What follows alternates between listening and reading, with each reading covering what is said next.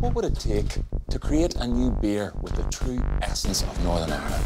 Maybe a column from the Giant's Causeway. Shavings from both Samson and Goliath. And the buzz of a night out in Belfast. all great things, but you can't drink them. Besides, Harp had it right all along. Sure, we could have told you that from the start. Harp, pure here.